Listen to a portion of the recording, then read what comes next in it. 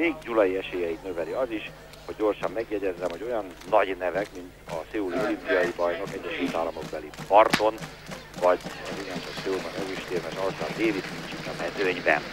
Tehát 1000 méteres döntők, és szorítsunk Gyulai Zsoltnak. Csapathajóban már nyert, világbajnoki címet nem is egyszer, csapathajóban nyert olimpiai bajnoki címet is, igaz 500-on is, egyéni világbajnoki címe egyelőre még nincs. A kamera most az Ausztrál versenyzőt mutatja, ez a délelőtti események ismeretében cseppet sem meglepetés, még akkor sem, ha a mi szívünk azért fáj, mert Gyulai Zsolt csak most került be egy picit később a képbe. Itt látható, hogy nagyon figyeli, nagyon kézben tartja a verseny irányítását. Túl vagyunk az első métereken, amikor fölveszik az úgynevezett utazó tempót, az utazó sebességet a versenyzők jó félhajót, majdnem egy hajóhoz Gyulai előnyel pillanatban. És ebből az utazó tempóból kell majd a végén robbantani.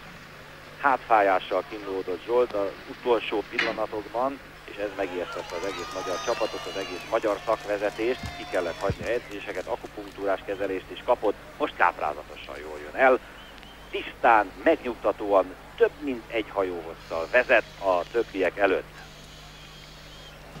Rövidesen féltávhoz érkezik majd a mezőny, akkor elhaladnak azok között a pontonok között, ahonnan az 500 méteres versenyt indították. Őrületesen nagy előny, amit most látunk fantasztikusan nagy különbség Gyulai javára. Többiek egyelőre csak a hátát látják, ha látják egyáltalán. Ott az a bizonyos 500-as ponton sor, és remélem ez a túlságosan erős kezdés nem vett ki sokat Gyulaiból, ezt azért jegyzem meg, mert iszonyatos hőség van.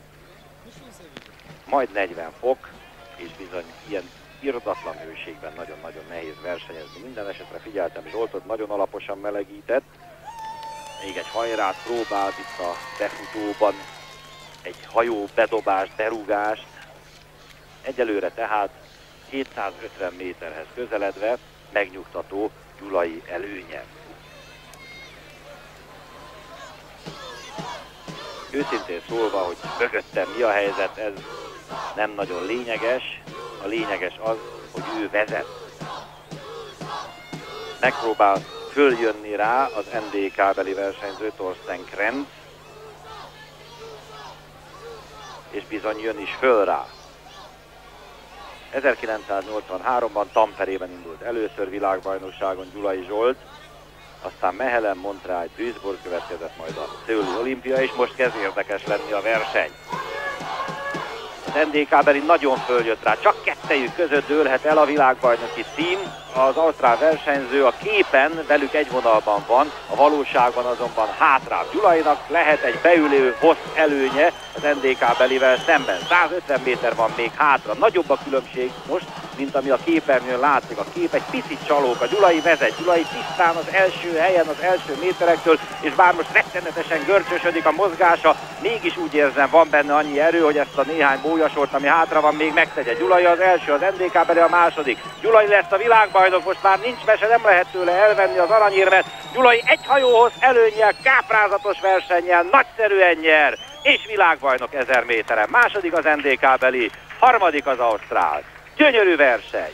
Gyönyörű verseny, az elején megrázta magát, megmutatta magát, hogy itt vagyok, jó formában vagyok, a sérülés, minden nehézség, a kizárás ellenére bizonyítani akarta, hogy ő a legjobb, lerázta magáról a vetétársakat, azt éreztette, hogy nincs keresni valójuk, nem tudják megverni, és bár volt egy időszak, amikor megpróbálta az NDK beli versenyző, akit most látunk a képen, fölzárkózni hozzá, visszaverte ezt a támadást, és teljesen megérdemelten megnyeri a magyar kajakkenu válogatott első aranyát Plovdivban. Miért nem a győztes mutatják?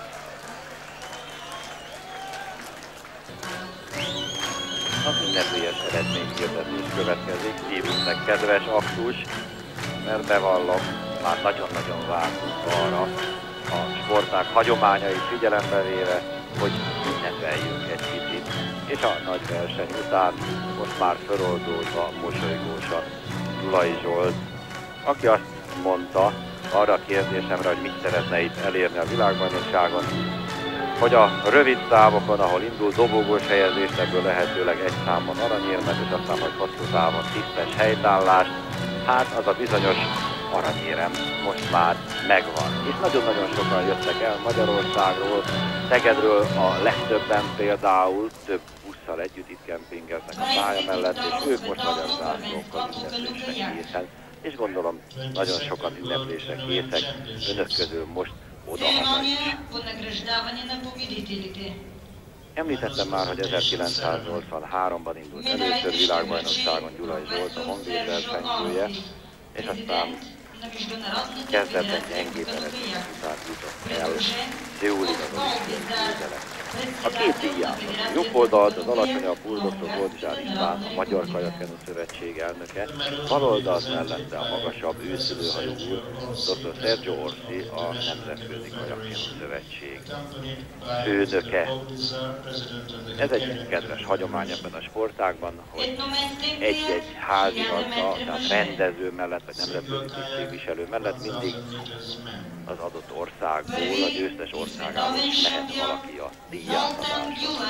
Tehát Kajak egyesben, 1000 méteren, Losszisban, világbajnok Gyulai Zsolt, Magyarország.